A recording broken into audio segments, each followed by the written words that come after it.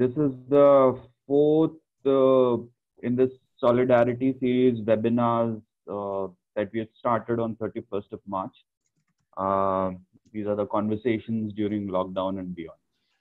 Uh, the title of today's webinar um, is What Needs to be Done to Strengthen the Public Health System in India. And uh, this is essentially in the context of the uh, COVID 19 pandemic that we are seeing uh, across the globe and the, the, the pressure on the health systems that's being created because of this uh, uh, disease and the pandemic. the speaker for today's seminar webinar is Dr. T. Sundararaman. Uh, before we start, I'll just briefly uh, introduce Dr. Sundararaman. Uh, Dr. Sundararaman is a uh, public health expert. He's former executive director of the National Health Systems Resource Center. Uh, he's also former dean of School of Health System Studies at the Tata Institute of Social Sciences. Uh, he, was, he is former uh, director of State Health Resource Center in Chhattisgarh. Uh, Dr. Sundararaman has been very actively involved in health and education movements in India, uh, primarily with the Jan Swasthya Abhiyan, uh, the People's Health Movement India, and also All India People's Science Network. Uh, he's a founding member of uh, AIPSN, that is the All India People's Science Network, and has been part of the Jan Swasthya Abhiyan since its formation. Uh, he's played a leading role in organizing the first National Health Assembly and creating the JSA. Uh, currently, he is the global coordinator of public health movement. Uh, this is a global network of grassroots health activists, civil society organizations, uh, and academic institutions around the world with presence in 70 countries. Uh, he has written several books on health issues and a number of articles uh, that have been published in uh, peer-reviewed uh, journals. Uh, before I formally hand it over to Dr. Sundararaman for his talk, just a few points to keep the session in order. Um, we request the speaker to have uh, around 20, 20 minutes plus minus uh, for the talk and then we can move on to question, answer, and discussions uh, with the participants. Uh, I request all the participants to keep their microphones on mute when they are not speaking. Uh, this session is being recorded uh, and we'll share the links on YouTube, YouTube and uh, the CFA website, that's cenfa.org. Um, Zoom, the software that we are using for this online uh, webinar has a uh, raise hands button. If you want to ask questions, please uh, press that button and we'll uh, ask you to uh, uh, request you to ask the question. alternatively, you can also use the chat box for writing in your questions, and then we'll we'll we'll ask the speaker to to respond to that. Um, I think uh, uh, these are the, some of the points that uh, uh please keep this in mind to keep the session uh, uh, running smoothly.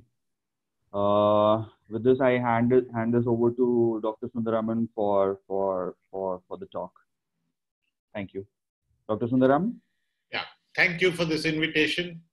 I will try to be brief, 20 minutes is uh, relatively brief for a very extensive topic.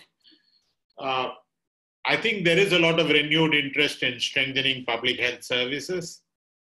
And as they say, the best time to start strengthening public health services is 10 to 15 years back. If we had done that, we, we would be much better ready now. Well, having missed that, the next best time to start is now. So I think it's a good thing that we actually discuss the basics of health systems preparedness now. Because you can see that however extensive the private sector when it comes to the actual response to the epidemic, even those who are willing are very few. And across the place, many of the private sector units have actually closed down, being uh, rather uh, take the risk or uh, do not have the capacity to cope with this. And therefore, in times of crisis, it is the public health service we need. And to have that in place when we need it, we need to have it there all the time. We say in disaster management that if your system cannot cope with one house collapse or one burns injury, how will what will it do when there is an earthquake? So similarly, the health of your system under routine times is the best way to be ensured that you are able to take care of an epidemic. Now, broadly, we can say that strengthening health systems has some eight or nine essential components. And I will run you through these and then we can see why at some point what are what else has been done and how we must think about it. The first, of course, is investment. And whichever way you go about it, whatever the exact way, we know from international cross country studies, we know from our own experience cross states, that unless there is a minimum proportion of public health expenditure, you are not going to be able to strengthen healthcare systems. People, there are nations with very good efficiency that has managed it at 3 to 4% of their GDP there are other nations that have needed 9 to 10% of their GDP, but at some point, about 5%, 3 to 5% of the GDP seems to be an absolute minimum, which works out to several lakh crores. And even if we say that the state government is spending 67% of it or 70% of it, it still means a much larger budget.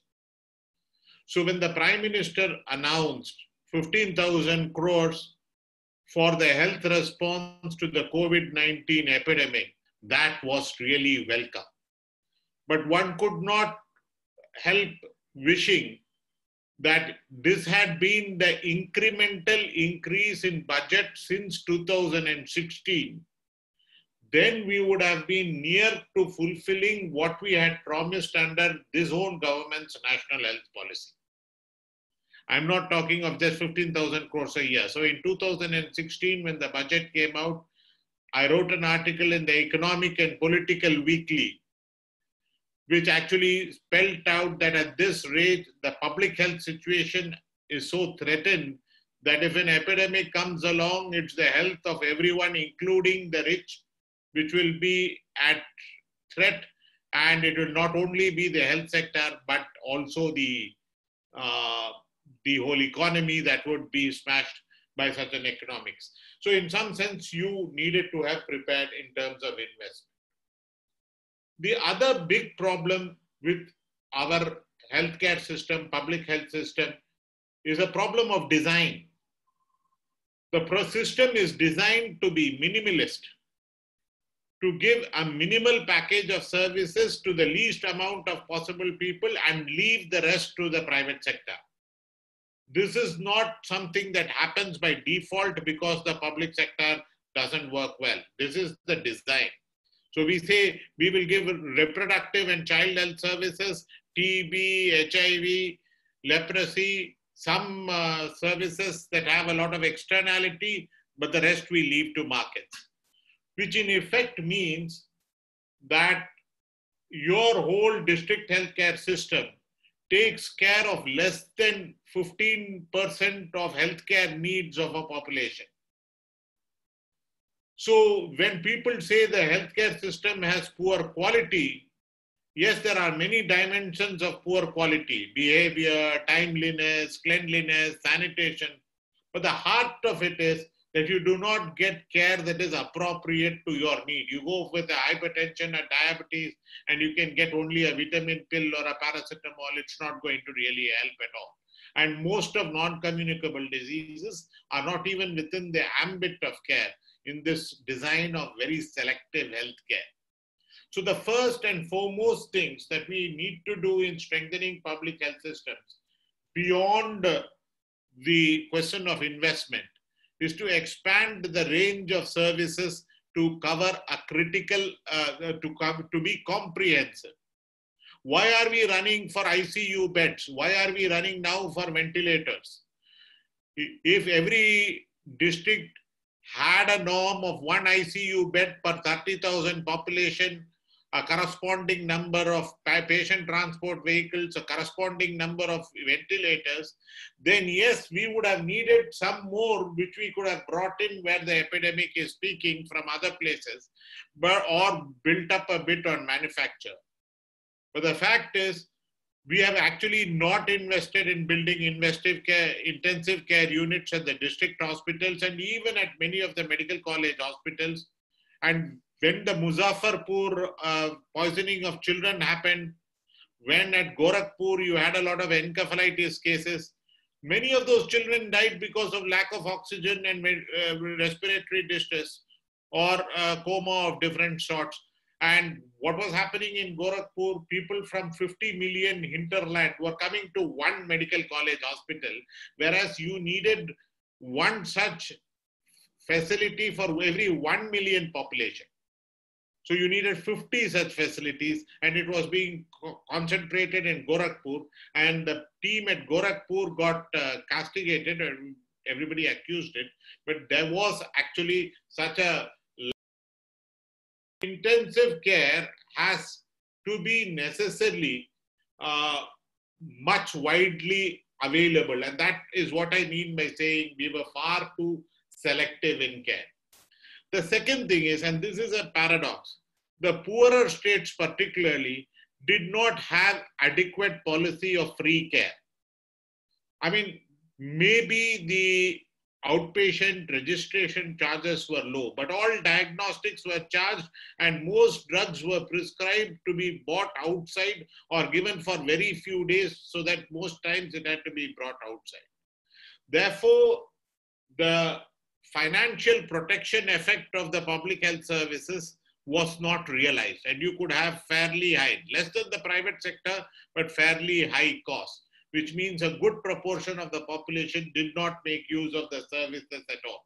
And one has to start looking at public services as a form of insurance provision and not say, should we have public provisioning or insurance provision?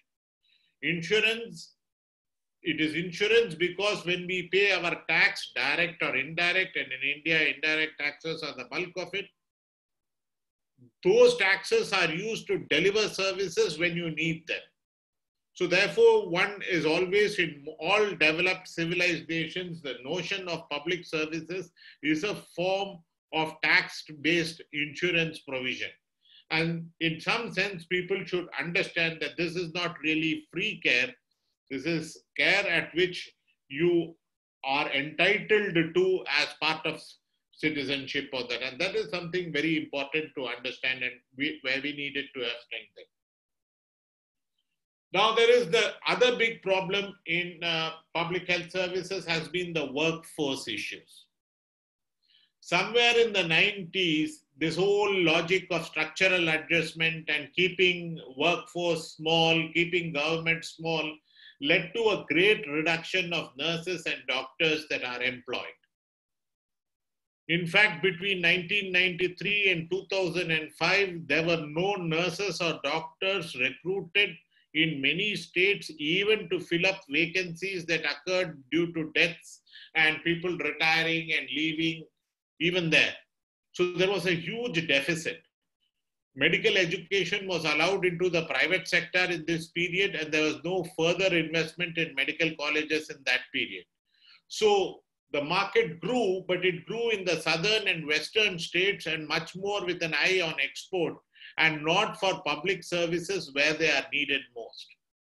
So it's not that we don't have enough numbers, but the number, we have a very, very uneven distribution with a very great skew. So we have excess doctors and nurses in some places, and we have a great scarcity in others. And you're not going to find doctors from Bangalore going to Bihar and Chhattisgarh, but you would find people from here going to Bihar and even London, from Chhattisgarh and to Bangalore or Delhi and then even London. So one had to break it, one had to actually distribute where you recruit people for education and train them upwards on that. In some sense, therefore, locality based medical institutions with locality based candidates was necessary across the place. Quality of care was another issue, but we have now a national quality accreditation scheme. You needed corruption is another issue, but corruption occurs because of very precise accountability failures in procurement, in transfers, in appointments, and in contracting. And these can be set right, and there are state governments that have got it very right. Professionalization of management, especially diversifying management skills so that you have people like logistics uh, over there, the development of public health cadre is another major issue.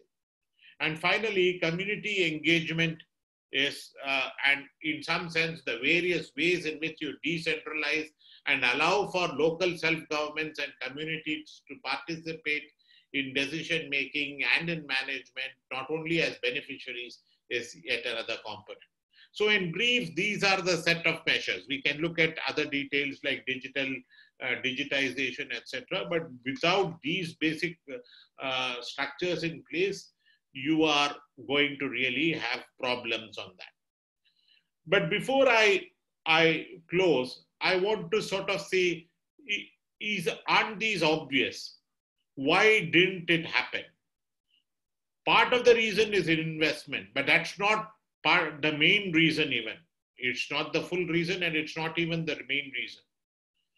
The main reason why many of these basic issues did not occur is because our whole health sector strengthening and reform policy had been influenced by a certain ideological stream called New Public Management, which is an off uh, put of the whole of uh, neoliberal economics on that. So here the understanding is that what's wrong with the public services is that markets don't work. And therefore, all the effort at reform is to make markets work for health. So one was to privatize, say public sector is inherently inefficient and try to bring private ownership, didn't work. Another was something called P for P, pay for performance, and say, okay, people are getting the same salaries, so there is a difference thing, and somewhere people who perform more are should be paid more.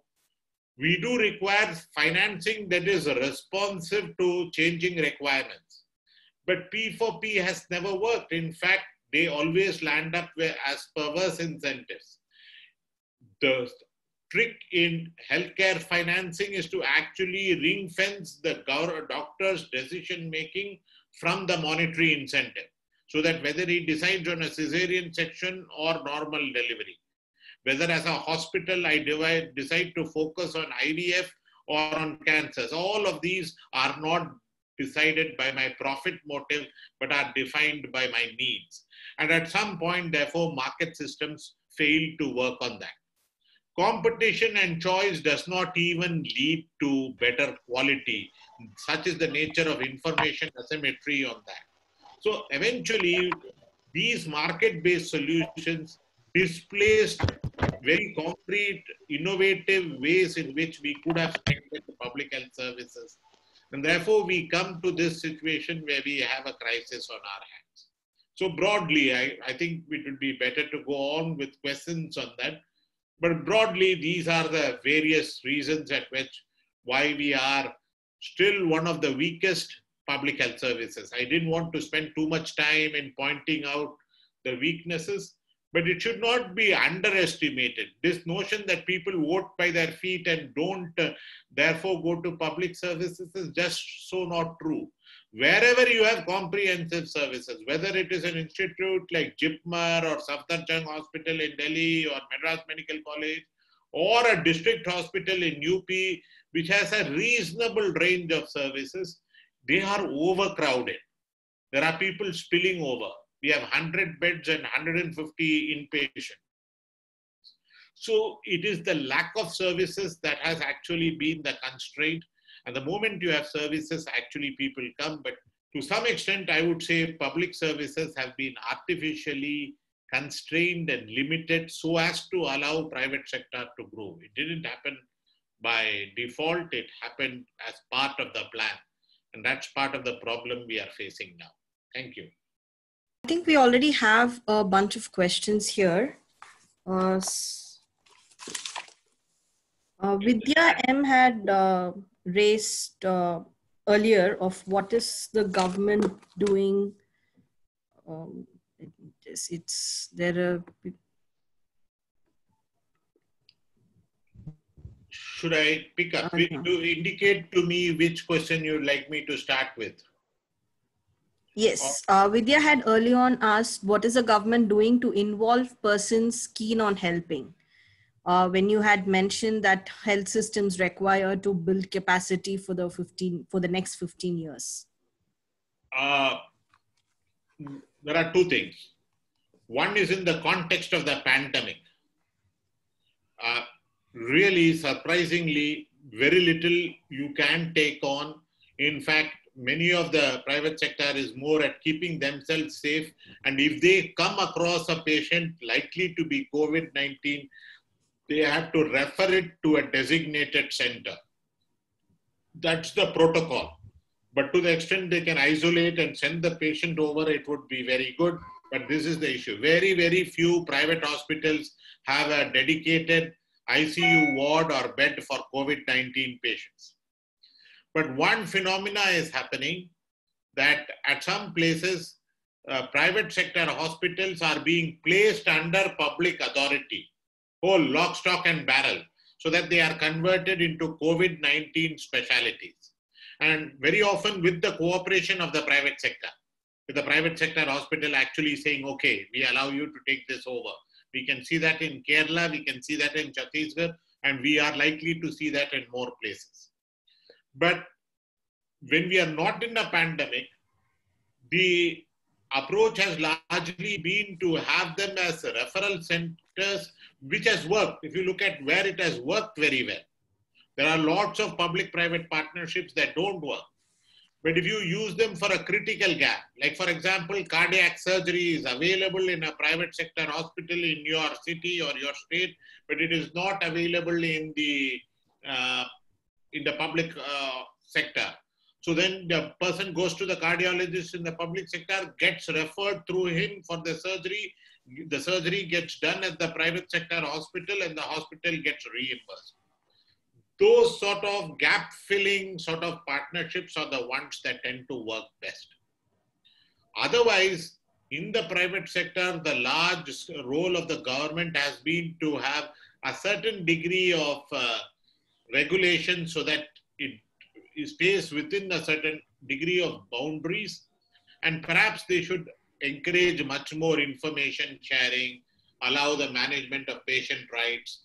Those are the sort of limited roles that government plays. Large scale public private partnerships on a regular basis have not done very well, even on the insurance platform. Though not for profit organizations, some of them have done well on insurance.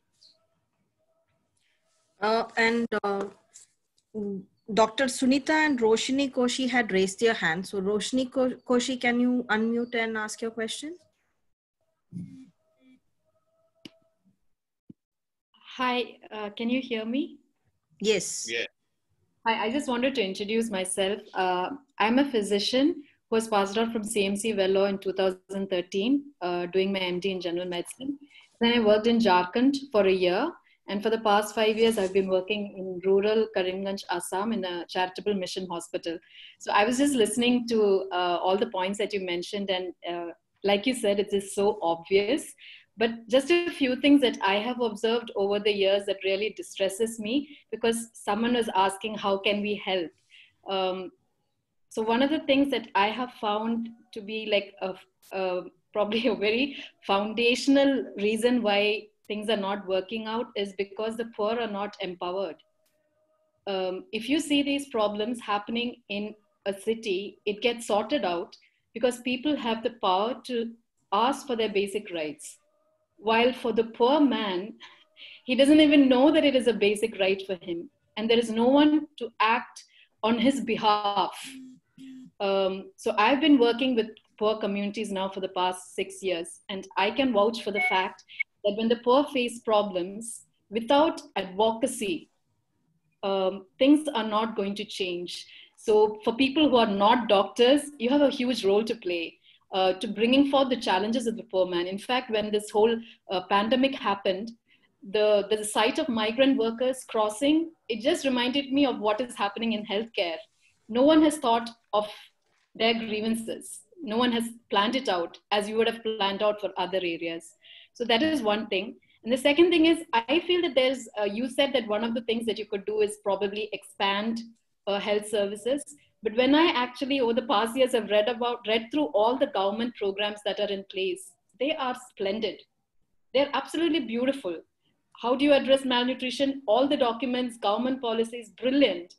But it's implementation, it's monitoring, it's evaluation, pathetic.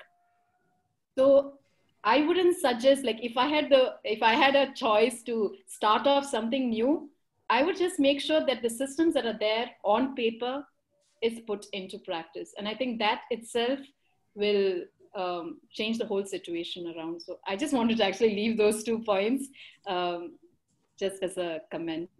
Yeah. Thank you, Dr. Roshini. And that was a very important point too. Oh. And I'd ask Dr. Sunita Reddy to ask a question. You had also keyed in your question earlier, so uh, kindly do that. And I would just request all those who are asking questions to keep it brief because we are getting a lot of questions and we have a paucity of time. So kindly keep it brief. Dr. Sunita Reddy. Thank you so much. Uh, very nice to hear you, Dr. Sundararaman. Uh, since I've been working on both uh, disaster and public health, I see hardly there's any convergence. And uh, any disease or epidemics, uh, health, health ministry take over, but then there's hardly any discussion with the DM. Now, with the COVID and a pandemic, we can see how there's so many gaps which are coming up. And in fact, there has to be a, kind of business contingency plan ahead so that we, whatever we are seeing, the fallouts can be taken care. And also uh, the DM plan that there are professionals, there are authorities, but all the suggestions have to go in uh, place right in time so that we are better prepared uh, I would like to ask how do we see this convergence between the dis disaster management professionals, doctors, and public health professionals? Uh, yeah, I have, I have uh, the, the first uh, question was basically, I mean, I think was, is it an implementation problem? You know, is it, uh, implement. The government has beautiful documents, it has a number of uh, schemes, but they are just not there in the field. And uh, I think the second question was really, again, somewhere on that same thing that we have a lot of capacities, but they are fragmented. You have doctors, public health professionals, and disaster professionals. How do we actually bring them together? I'm going to sort of try to answer this using two other questions. Balasubramaniam has asked to name one state where uh, these things are happening. Okay, so that we have some visual image of how it can be made to happen. And I think Franco has asked something more specific about Kerala among the chat questions. So can we look at why is it that these states, some states like Kerala certainly, Tamil Nadu, maybe to some extent Himachal, do somewhat better in some of these areas. Now, one of the things which the Kerala has had for the last three years is something called the Ardram program, Ardram program or something that means, I think, something like compassion. And what they've been doing with that is to actually improve the quality of public hospitals, get it accredited under National Quality Accreditation Scheme, get the flow on place, and expand the range of services provided. Now, we see a lot of good government uh, program documents, but on scale and on implementation on the ground, they are neither financed nor does the human resource allocated allocated match that. Right? You do not actually have the matching on that. So these documents remain documents. unless along with a scheme, the appropriate human resources and financial resources are allocated, they don't go to scale. And one must therefore differentiate schemes which are by intention universal, like say TB program. You are out to catch a TB suspect, whether or not he comes to you. You are going to follow him up, whether or not he comes to you.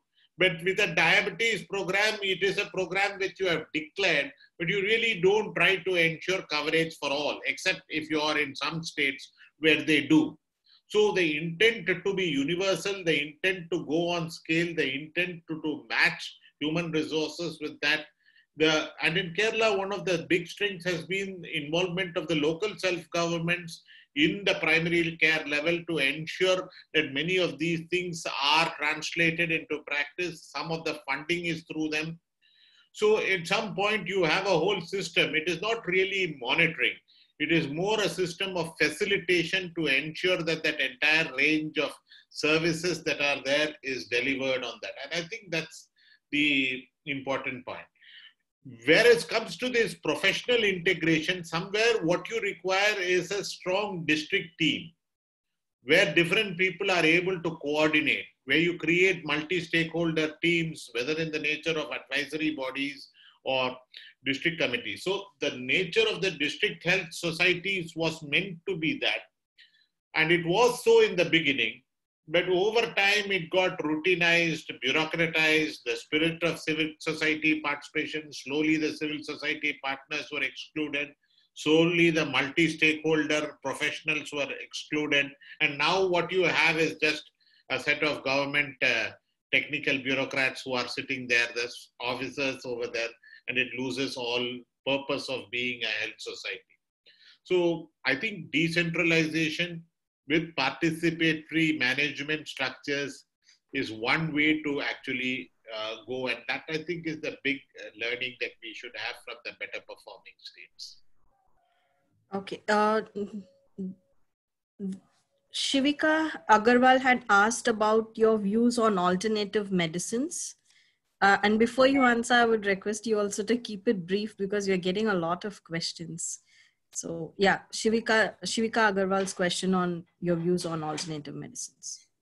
Uh, listen, um, it's a very, uh, it's not my area of strength. I don't deal much in alternative medicines my job broad principle on alternative medicines has been that if people have a choice to exercise in this they must have the space to exercise that choice we can't prescribe it on the basis of that but and in the name of alternative medicines that we are providing alternative medicines let's not uh, fail to provide some of the medicines that as from modern medicine, which is part of our entitlements. So, if alternative medicine is access for that needs to be encouraged, we need to actually study these much more. But I have been uh, engaged all my life with basically the major problematic of ensuring that access to scientifically proven healthcare needs is a, is a basic human right, and delivering of that is our one of our constitutional obligations. And uh, Janisha had asked you to elaborate a little more on the role of local self government in public health systems. So, actually, we have very few good examples in this. We have very few good examples in this. But we do know that where they work, they work very well. So, one of the uh, areas has been, uh, for example, the local self-governments have helped in improving the quality of public facilities. Which may mean everything from building the aesthetics of the surrounding it, cleaning it up, putting a playground there, or putting some neat chairs there, improving the ambience inside the hospital, building amenities for the doctors, building uh, amenities for the patients. This is one set but it is also means that you are putting in a lot of uh, concern to see that certain outreach programs are facilitated. So in the Kerala example, the panchayats are funded to employ a nurse and outreach workers who go to the houses of those patients who are elderly or bedridden or on uh, renal dialysis or on cancer chemotherapy to ensure that basic healthcare needs are met and they feel supported on that, acting as outreach. They call that the palliative care program. Now, the entire staffing is through that. And therefore, these are not people who come to the facility. These are people who cannot come to the facility. And when they need to be brought to the facility, there is a transport arranged. But at other times, the outreach is taken care of by the panchayat on that. And this is going to help greatly during COVID 19 when people are at home quarantine and you need to reach people at the home. What you have been doing to reach the elderly and the disabled at home is now going to come useful to reach the non disabled, but the quarantine. And therefore, they are able to get their home quarantine act together much better than others and reach it out with much less stigmatization on that time. One of the things.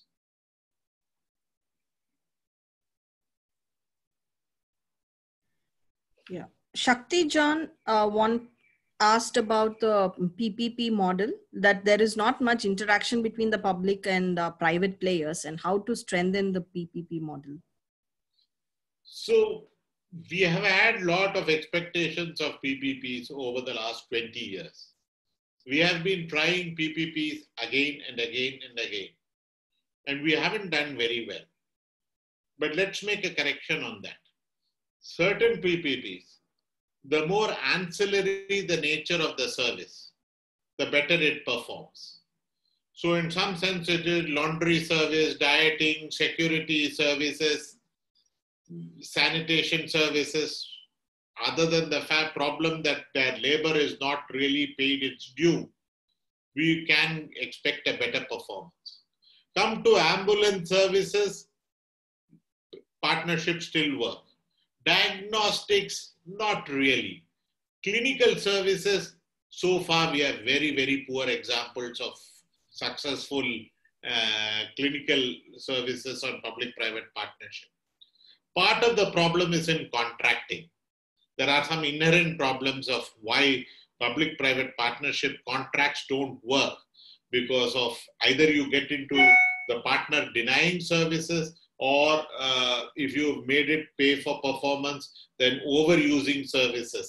So it's very difficult to strike a, a contract where you actually make it insensitive to the monetary incentive. It's, there is a problem. World over, there's a problem, but in our context, we have it more. So that's basically the problem about public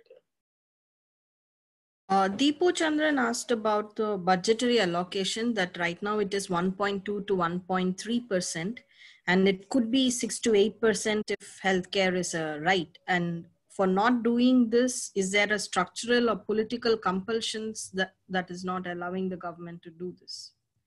I think so. I think it is basically, uh, despite so much big talk about it, an ideological and politically driven compulsion. There are two contradictory compulsions. One, the healthcare sector is increasingly seen as an industry.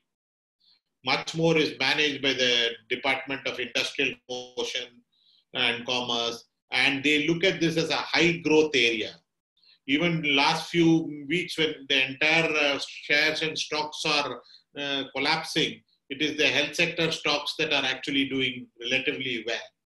Even in the 2008 uh, recession, the health sector stocks did relatively well. So they look at this as uh, the compound annual uh, com, uh, annual growth rate for healthcare industry is twice that average for the service sector, which itself is twice that of the overall uh, growth rate. So they are looking to this as some sort of a growth engine, which is very contradictory, but there it is. So therefore, at some point, lot of public sector things in the ESI, in uh, you know the public sector undertakings like the Steel Authority, more and more of it, the pressure is to outsource their clientele into the uh, private sector on that. So part of it is ideal. The second is your whole fiscal consolidation policies. You want to keep the budget deficit down, and you don't want to keep it down by having peace with your neighbors and a lesser defense expenditure because your politics requires a certain height. So therefore, where you are able to cut down expenditure happens to fall on education and uh, the healthcare, which gets increasingly privatized and where investment, public investment keeps going down. So this is the whole notion of fiscal consolidation and the ideological push. And finally, neoliberalism is characterized by the fact that it brings public services into the market. That has been one of its basic characteristics, and that is also playing out on that. So it's very much ideologically driven, except that, yeah, there's many other things on that. But basically, it's that. Yeah, the other question by Shakti John, I think you had covered it of how to strengthen the infrastructure in public uh, sector. So uh, moving on to the one of Vidyas, uh, of what are the health incubators and startup accelerators in India? We have a whole lot of the bank loans that are going through for enterprises are really going to uh, healthcare units, healthcare establishments even a general practitioner clinic is being used as that. We don't find too much uh, in the clinical side, okay, except the standard loan that is easily available. Where it is very important is in biotech. For example, when the, the COVID epidemic struck a country like Iceland or South Korea or Germany, countries that have done very well, their first thing was to go catch a private enterprise over there, give them the necessary technology and skills, and ramp up by a hundred times the total number of test kits that were being provided. Uh, the test kits, the medicines, the vaccines, the personal protective equipment, all of these should, the government should actually transfer technology, skills, support, and finance a major increase in production in these areas. I think there's immense scope to do that, and it should be done now within this coming last last uh, this month and the coming month. We need to actually multiply it a hundredfold. They won't have the skills, but you need to actually support them. This is not the period when you go into a long-term incubation. This is a quick transfer of technology with financial and this support. And the countries that have done well are precisely the countries that did this Germany, Iceland, South Korea. They did not need to do lockdown. They actually needed to have a public private collaboration for uh, the scaling up rapidly of the health commodities that were needed to cope with the epidemic. Uh, Leo had asked about what are the best and worst case scenario for India in dealing with the worst of this pandemic, given 70% of private healthcare is going belly up. I, uh, you have to get back to life as usual.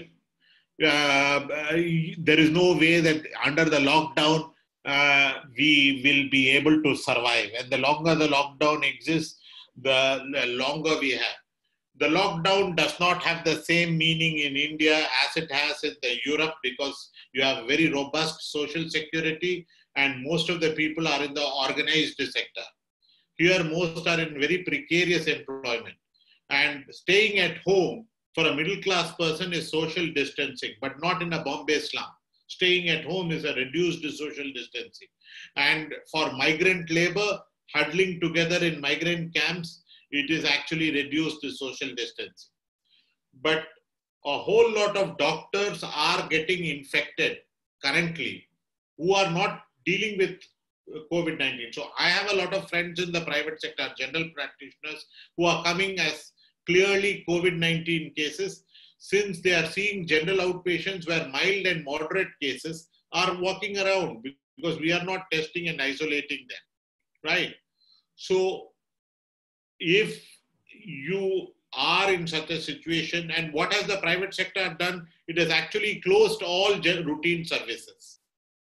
And except for emergency calls and very few of them the private hospitals are not running at all. But that is extraordinarily you can't run a system that way. You just have to open your clinic and learn to deal with uh, covid-19 suspect cases based upon clinical criteria what is called a COVID 19 syndrome as different from laboratory diagnosed and reopen. And that's true for everybody. Public transport has to reopen, ministry, manufacturer has to reopen. What's the best case scenario? The best case scenario is that it is going to take three months for the cases to spiral up to uh, into an epidemic proportions again. The worst case scenario is it's going to spiral up within a week. Okay, with the social lockdown having done nothing. In both these situations, we have to turn to identifying cases and only isolating identified cases and quarantining contacts and letting the rest of life continue with, within these constraints. Whatever time we have bought, we have bought. But after this, we are not even going to be able to buy time for health sector preparedness. It's too bad. We should have done a lot of this earlier. Many countries went into production of test kits after they had their first case in the country. And they managed to increase the production into the required levels. We are just about starting, but we can't go on with this. We need to open up and business as usual and take it within that structure. There is no other way we can manage it. Uh, Soumya Datta asked about the refusal of the government to mm, for testing for COVID-19. Is it targeting uh, towards a herd immunity without telling? Yes, I mean, to put it precisely, yes. But remember that herd immunity is not a strategy, it's a fact. It's some, not something you make happen. It happens despite you, right? So when you say they are, this is their strategy, no, this is the result of their lack of strategy. So what is happening is herd immunity, but we don't even know who is immune. But perhaps by this whole shift to antibody testing, which is a testing of immunity that has developed rather than current infection, is perhaps signifying that they're going to use that more actively. But they won't be able to get away with it because, you know, herd immunity means it will strike in at only 60 to 80% of the population getting infected. We are then talking of uh, something like uh, uh, how much it is? 60 crore people getting infected. That's just far too high a number. That means we'll be living with the epidemic for 18 months. I don't think we can afford that. The numbers of deaths will still be too high. So herd immunity is happening beginning to happen but to happen to an adequate level it will take much longer time and therefore the earlier we recognize that we have really no alternative to identifying, isolating, testing, and treating, we're going to be uh, in difficult times. We're going to have, from time to time, a huge outbreak and then shutting down. Uh, the other one is by Balasubramaniam, which you had uh, um, answered earlier. And uh, Prabhat is asking for uh, is it possible to create an army of emergency health workers in the current crisis and how feasible it is? One has to think of what skills they will have and what functions they will perform. And the treatment of a severe case of uh, COVID 19 is a sophisticated tertiary care it's not ordinary ventilation. It's a very high quality of ventilation. And the treatment of a mild and moderate case requires no treatment at all. Essentially, they, they become normal without having to actually get treated. So, what is this emergency workforce about? Is there needed? It is needed. It's needed if you are managing community managed isolation centers if you open up community managed quarantine centers, if you have the community help you quarantine, uh, home quarantines, if you are helping in terms of this uh, contact tracing, in all these functions, there can be community volunteers. So therefore, you can and you must build them up. But I am afraid that we have been going the wrong way. We have been stigmatizing too heavily, victim blaming too heavily. So instead of community solidarity, we are having uh, a deep uh, degree of uh, suspicion and hostility towards those who are affected or those from whom others have got the disease. That at those terms, this function that community volunteers can play will not happen.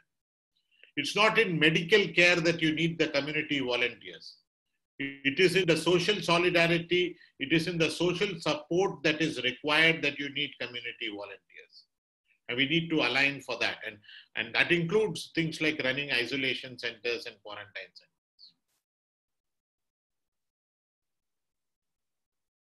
Uh, you had answered uh, Vijay and Rajendra Ravi's and Franco. So I'm moving to uh, Mark Makarand Purohit, who's asking uh, Does the surge in different healthcare insurance schemes in the States could ever help the healthcare system in better management and delivery of health services to the poor? I wish it could. I wish I could say yes, but the data doesn't seem to show either uh, significant uh, cost reductions, uh, reductions in catastrophic health expenditure, or uh, even increase. Not as yet. And in COVID 19 and in all these disaster situations, they are really out of it. They have announced that COVID 19 is part of the package. But if the hospitals are not providing that care and have shut down rather than provide that care, then the fact that it is there announced as part of the insurance package is perfectly meaningless. So I, I don't think that we are, the insurance has too much relevance on this. It may play some marginal role uh, over time it may pick up, it may be able to expand the care. At this point of time, for the pandemic, it has very little, and even in the long run, the jury is out. We don't know whether it is. I think much better to think of things like health and wellness centers where an expanded range of services are provided and to see how we can incorporate more private providers into such a scheme. Uh, Jyotsna's question also, I think you had answered. Uh, so I'm moving to Anurag's uh, question of uh, TB. Like he has asked if uh, we had had TB outreach programs for a long time, and yet why are we still having uh, people getting affected by TB every year? Before you answer, I would just like to mention that we would extend the session a little bit because we still have a lot of questions. But from this moment we don't we'll, we are not going to take any further questions. So kindly uh, do refrain from writing more questions now. Those that are already come we'll answer. Yes sir. I'm thankful for your help. Otherwise i'd have got totally confused with so many questions uh, uh, floating around. Yeah it's interesting tuberculosis is a respiratory pathogen it is also contagious it has also an r factor potentially if you do a lockdown on TB, uh, eh, it should also work. No, TB should reduce, but it doesn't do that, and we know that. Partly because it, it the longer the prevalence of the, the the infectivity of a patient, the longer the period of infectivity, the lesser, the more its uh, infection and more acute measures won't work. But to come to your key point, there are two or three major reasons. One is the social determinants of the disease. A lot of people get infected with TB, but few people get overt disease. And those who get overt disease are in some way immunocompromised or at risk by malnutrition or other respiratory disease or other factors like diabetes, HIV. That's very similar to COVID 19, is it not? And what you really have on those people is therefore they are much more vulnerable for the same degree of infection. The other thing is actually that you need a very prolonged period of care and treatment. And now that multi drug treatment has uh, achieved, you still need a lot of support on that. And some of the people who are getting treated are some of the poorest people on that. So sustained primary care with outreach and support, the entire works is needed to be able to manage it. And we are being very poor at helping the more marginalized, poorer sections of the community where TB is rampant. There, the health sector outreach is also very difficult. So it's it's as much the social determinant issue as a failure of primary care, both of which, which is actually reason why TB continues to be a major killer. In a given year, something like this last year, something like 2.5 lakhs, and that's a minimum, would have died of tuberculosis, far more than we have our minimal projections for coronavirus. So it's a major trend. Nagraj had asked about if the anxiety of COVID now is going to strengthen the health system, but that that is where you started the entire session with. The second part of the question of what can activists do to push for helping strengthening public sector, if you can answer that. Uh, I think there are a number of areas where we need to do, and one of the important things is to get political accountability on this we are getting some results by persuading people to put it on their election manifestos and then in the next election holding them accountable. So, how do we build the political accountability is one of the big issues that we need to. We talk of the accountability of everybody else.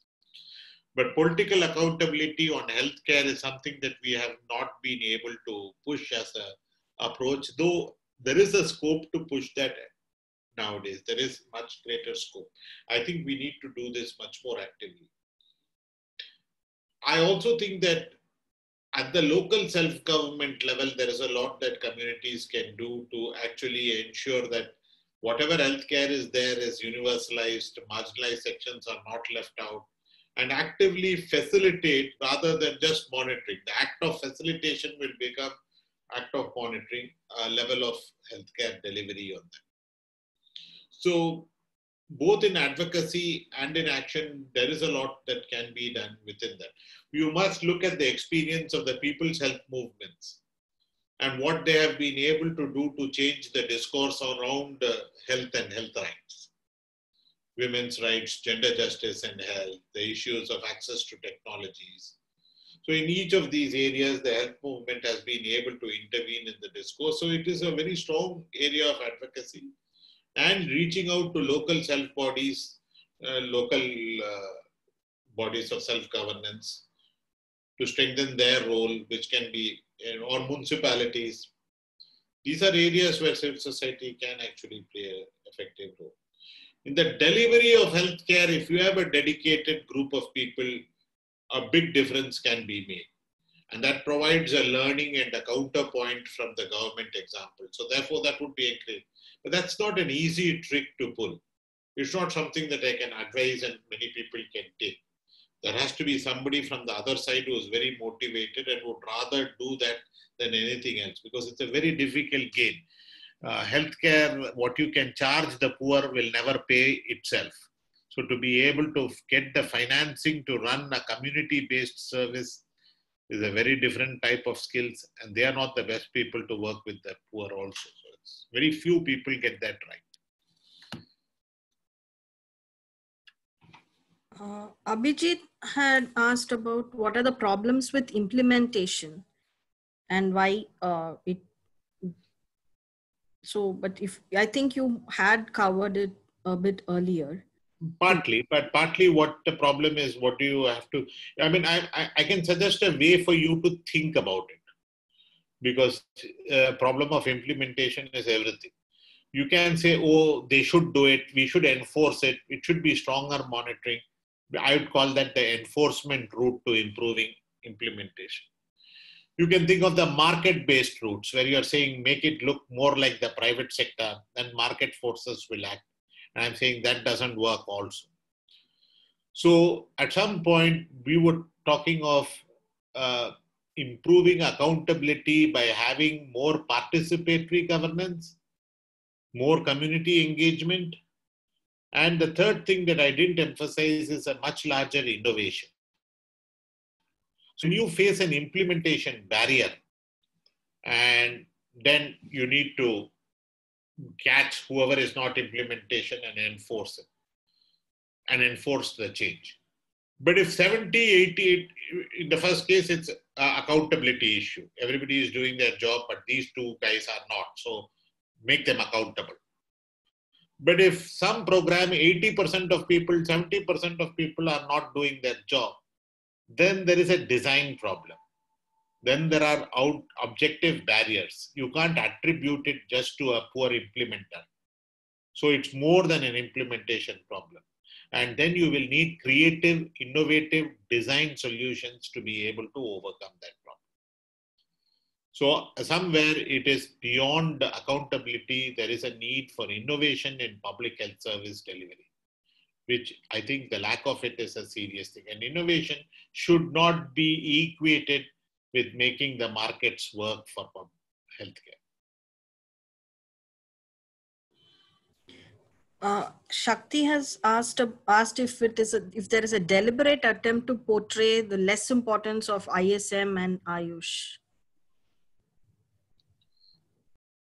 Deliberate on whose part? On the medical professional, uh, the modern medical part, perhaps yes, but that's not their area of skill, and they would promote what their part is. On ISMs and uh, Ayush uh, there is a lot of people who still contribute to it. But in policy, at some point, there is this whole thing of this outcome based thing and that accountability on that. So, other than making those services available, you can't actually use these in some of the situations which we are talking of. So, broad health promotion is all right. But suppose we introduce something for COVID 19 and we have very little evidence to support it the system would be held accountable. And unless there is evidence that supports its implementation, it can't. So we must differentiate between making it available and uh, being able to promote it into areas beyond where the evidence supports it. Uh, the next by uh, Balasubramaniam and Shibin, I think you can answer together. Balasubramaniam asked, uh, like when you have uh, pointed about the localization of resources, introduction of NEET and abolition of service quota, uh, which actually in, in, incentivizes doctors to work in rural areas. So with these changes, like there is a more uh, city-centric shift. And Shibin uh, has also asked about what are what could be the in, in incentives to encourage uh, healthcare workers to work in underserved areas. So if you could take both of this together. Thank you, and it's good one. I'm not a great supporter of NEET. In fact, I am very critical of it. I really think that the states should be allowed much greater autonomy in setting their thing. You can build some standards if you want. That selection is done in a fair process and it's transparent. But you can't go into deciding what that process is, much less setting the question paper and correcting the answers, etc.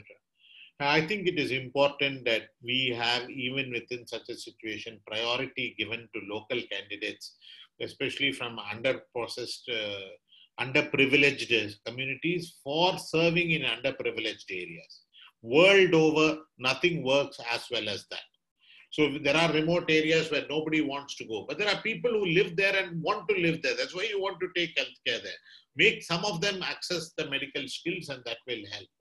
So most of the uh, solutions lie along that particular axis and NEET actually takes you away from that. Uh, it, uh, it is objective, but nothing else. And its objectivity means only that it does not allow deliberate partiality, but it, in a systemic way, it does not select the people who are most appropriate for the job. So I think that we need to move away from that and look at other systems of uh, recruitment which are much more preference to locality based selection, uh, training close to the community, incentive packages for those who want to work there, and a positive practice environment where the community is close to them and where there is encouragement and space for professional development. I think these are the key areas about keeping your workforce where you need them and keeping them happy. Uh, Zia has asked how funders and donor agencies can systematically respond to COVID crisis. Um, one of the areas where funders can help, and yet I'm afraid they may not help, is in the rapid transfer of technologies for scaling up production of the mass health commodities that we are requiring so urgently every state should be able to manufacture the personal protective equipment that it needs. There are components of import uh, components, there are components that require technology, blueprints need to be required, training. So a whole lot of your garment units and other units can be scaled up. I think development partners get the South Koreans, get a team from South Korea. Never mind your uh, national pride, etc. Get the team of South Koreans to come and help Tirupur uh, or Jalandhar to start up immediately the production of personal uh, protective equipment. Do the same for testing kits. Have some 15 centers ramp up production to close to 10,000, 20,000 per day uh, UK plans to test 1 lakh per day. We should be doing something like 1 million per day at the peak of a thing. But even if we are able to reach, today we are what, at about 3,000 per day. Only yesterday we've reached that figure. Otherwise, we were a few hundred per day. And we can actually go up if we can. So I would focus on ramp. And the third is the ventilators and pulse oximeters and oxygen supplies and oxygen concentrators. So a whole range of what we call essential health commodities that are needed to tackle the crisis. We need transfers of technology, hand holding to be able to ramp up manufacture. And in our situation of joblessness and industrial collapse, this would be a great, great boon. I think this is extremely important that we do that. And we will need to do that once the vaccines and the medicines come along. The medicine should be available within three to four months, and the vaccines within a year. And we will need to ramp up the production of these also on very great scale. So, again, the donor partners have a major role to do that. The, uh, I don't think they have too much of a role in terms of this. If there is any financing that they can do for it, it's useful. But uh, I don't think they would be able to help even in surveillance because of the fact that you need the state governments involved and at some point there's far too much active data suppression at this point of time to build an information system. This is not the time you build an information system. We had a very good flu surveillance system which was reporting flu-like illnesses, but instead of scaling it up at this point of time, they start, stopped putting the data on the public domain from February 23rd. So, in fact, you know, the transparency of systems, otherwise they could have helped, but there's no space. So, I think overall health sector preparedness, strengthening systems, they can help. But at this point of time, the focus should be on maximizing health commodities. Uh, the other question by Junaid, I think you have already answered uh, whether there will be a shift towards public health and uh, health in India right now. So going to Franco's, like how is the testing for COVID right now? We are highly constrained, so much to say that this is testing is now becoming quite a bit of a scandal. There are two reasons why it's a scandal. We keep comparing our figures with the international figures. International figures are testing for mild and moderate cases in most countries, at least trying to. In countries like Iceland, they are by design testing for asymptomatic people, even if not carriers, even if not contacts. Now, we can't compare our figures, which are testing only severe cases, or contacts of known COVID 19 who are also symptomatic, we are only restricting testing so much that we are not able to detect community transmission at all because of this. To add insult to injury, the ICMR test guidelines for severe cases wants you to test for severe people with influenza like illness who are admitted and who have pneumonia only in 50% as a sort of sampling technique. But the other 50% would be infecting people and we would are therefore would be dying. And at some point you are actually uh, not testing all. There are some more clauses put there. I'm not going into. So even on severe cases by design, by protocol, we are not testing many people. As a result, we are flying blind when we lift the lockdown, we are not going to have eliminated the cases, which is to some extent all right. We don't expect to have eliminated it. But we don't won't know where the hotspots are. And what we know of hotspots tends to be carried away with the prejudices we have. So we have tracked down one super spreader in the mosque incident, and we followed all of it and made so much of a noise, and feeling very, very happy with ourselves for doing that. When actually there may be 10 more like this, and we are seeing cases which you're completely missing because at some point your testing design does not allow you to test and it is so selective in your testing. So I think the major scaling up and allowing anybody with COVID-like symptoms to be tested is utterly central to being able to fight this epidemic. And you have it coming from all international and expert sources. But our message over here is it is only social distancing that can save you. No. Social distancing has a limited effect. It is not a very powerful tool, but it is okay, the one tool that we can implement by ourselves. The larger issue is in testing and isolation. Uh, and Dr. Ashwini Jadhav ha- has asked what should be the public uh, health system's response to homeless people, nomadic communities in a pandemic kind of situation? So, one of the things that you need to do is to actually bring them into shelters and be able to convert temporary shelters for that purpose. The government did that, but were embarrassed to find that the total number of homeless increased dramatically, which you have to live with. And some of them were not homeless, but became homeless because of the lockdown. And you have to be able to provide both the food and the quarantining that is going to be required and keep removing the people who develop symptoms from that and put them into isolation so that you have a constant ability to monitor this. We will need to do that in scale. Otherwise, all our social distancing and lockdown is not really going to work if you have a number of such people around.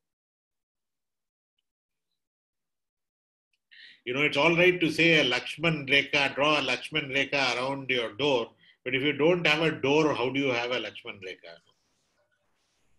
And Swati has asked about the nurses suffering due to mismanagement and what are your recommendations towards a solution? I think somewhere the, the scaling up of personal uh, protective equipment is important. There is another important criteria. You can't have too much working hours. It is also, this infection is also sensitive to the viral load you take on. The longer working hours will give you longer uh, thing. So giving them frequent breaks from, inter, from their uh, work and also uh, reducing the number of working hours per day are both necessary means to be able to secure them along with PPE. So it is PPE rotating them for people who are on the interface so that you reduce the amount of days they are on the interface and reduce the amount of numbers per day. Remember, a good system which plans for nursing keeps almost 20 to 25% additional nurses to deal with leave reserves.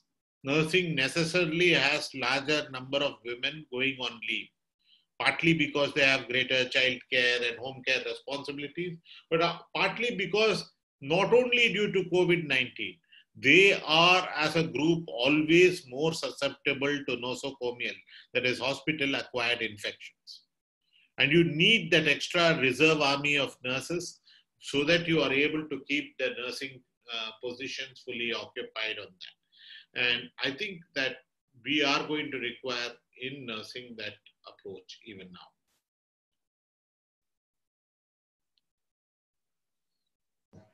Bhagwan Kishpat had asked about how uh, friend activists and networks can help the situation, which I think you have covered already.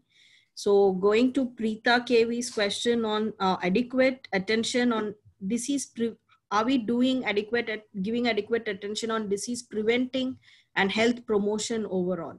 And how can public health system in India, how, how are they faring on this aspect?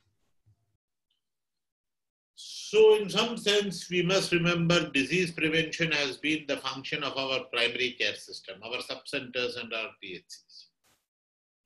When it comes to care in pregnancy, immunization, they've been doing a good job, though I'm afraid COVID 19 is disrupting immunization schedules in an unforgivable way. We may have people dying out of children dying out of measles instead of senior citizens dying from COVID 19. That's not a good trade off. But having said that, we as a system has been good at these elements of uh, these elements of uh, preventive care. But when it comes to non-communicable disease, when it comes to other mental illness, we've been rather poor. The second part where we've been poor is much of preventive care in health is not what the health department does, but what other departments do. So, air pollution, road traffic management, uh, transport systems, the nature of urbanization, all of these are not really under the health department, but they have a great meaning in preventive health care.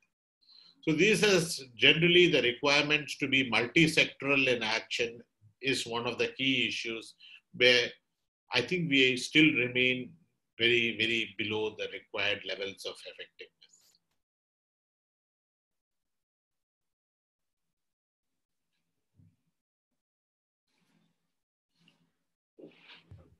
Sorry. Neeraj has given a link and uh, others okay. Neeraj is also asking about the market forces enforcement etc and uh, handling patients with more compassion like. I think so and one would have expected that covid-19 would have improved it but actually one is surprised the hostility with which uh, patients are being treated. And you are having uh, community treating doctors badly. You are having violence by community against doctors for having been treated badly. At some point, uh, a mutual sense of fear and distancing has developed. And I think we need to really, really work on the social solidarity area on that. So it is an issue that at some point you need much greater empathy between the provider and provided. And for that, you need to get away from victim blaming, stigmatization, say, you know, filing FIRs against people who have spread the disease, as if some willing action to commit murder they have done that you file FIR. That approach is leading people to hide from being detected to uh, pre prevents them from cooperating in tracing contacts. They're not going to let out names of people who they think will get harassed subsequently by the police. If it's your loved one, you're not going to give out the name, however serious, to the police person to come and harass my daughter. I'm not going to do that. So, the, given the whole way in which we have gone victim blaming, we've gone the wrong way on this. I don't know what leadership it will take to reverse this uh, sense, but we need to do it fast. Uh, Yogada Joshi asks your view on moral hazard in the context of insurance. That's that's a different question. A different question. That's a provider-induced moral hazard thing. The, the notion of moral hazard is that when a person with an insurance cover comes to a private provider, the the the the patient feels that look, I'm already covered for 10 lakhs or 5 lakhs or 2 lakhs. So why shouldn't I consume more care? Why shouldn't I take that extra CT scan which I don't need? Why don't I get that blood test done? He feels morally justified in taking so. He, he doesn't feel wrong about it. The doctor also feels that I can order that CT scan, my reimbursement will be more. I wouldn't have ordered it otherwise, but the patient is covered by insurance. So let me do that. Let me give him that extra medicine. Let me give him that unnecessary diagnostic. It will give money to the uh, hospital, the patient is not paying for it. And sometimes even the insurance company and third party uh, insurers are paid based on turnover and they also feel happy for it. So then everybody seems happy and feels morally justified. So why are then why is the system unhappy about it becomes the question and that's a classical moral hazard of overconsumption because the incentives are aligned that way and that leads to excessive uh, use of uh, healthcare which also means it deprives necessary healthcare where it is needed becomes a supplier induced market instead of responding to real healthcare needs so it's a danger, but at that individual level, it's not a danger. It's seen as something welcome, but actually it is a danger. Uh, Srinidhi has asked if India is producing kits right now, and if not, what is restricting it? So this is the paradox on this. Only on May, March 24th, I think they announced the lockdown on March 23rd afternoon, 4 o'clock, they sanctioned the first three kit manufacturers for India. That late. Iceland and South Korea, when they heard there was an epidemic in Wuhan and they did not yet have a single death, they started manufacturing the kit. But we, uh, some of them were even exporting kits. The only people who were were importing kits from the US and even now, many of the people sanctioned are actually importing kits from the US and Germany. Now, when the with the epidemic taking these proportions in USA and in Germany, those people have stopped exporting kits to us. They have closed the exports there. And therefore, the people we assured on March 23rd had to go into production. So it will take one or two weeks for them to start producing. And after that, the whole stocking, distribution, validation, there's a big job ahead. Now they have, uh, they have uh, I think, made 11 or 17 more. Uh, uh, I think this next week after that, they have sanctioned. But many of them are importers again. So it's not sure whether they have any manufacturing capacity whatsoever. So I think we are so what were we doing before? Institutes like National Institute of Virology made a few homemade kits, so to speak, in their own laboratories, which is something that works for small scale, but was totally unsuited to scaling up. So I think that is the big issue. The answer is right now we have still, I think about one of them have gone into production, but not really, perhaps none of them have gone into production but some anywhere between 7 to 11 have been sanctioned to production.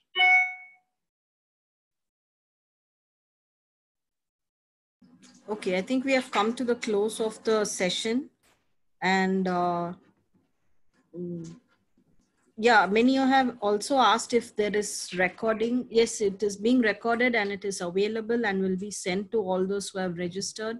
And it is also put up uh, in our website, cenfa.org. And um, thank you, everyone. Thank you, Dr. Sundararaman, and thank you for those who asked the questions. And please do join the series. We are doing it till the 17th, uh, mostly 11 a.m. to 12 noon. So hopefully I'll see most of you tomorrow also. Thank you all. Thank Have you. a good day. Thanks.